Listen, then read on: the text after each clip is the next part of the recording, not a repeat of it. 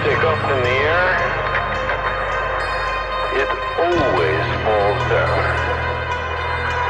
If the sun sets in the west,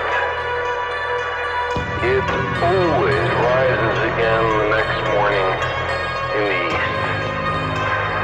And so it's possible to figure things out. We can do science.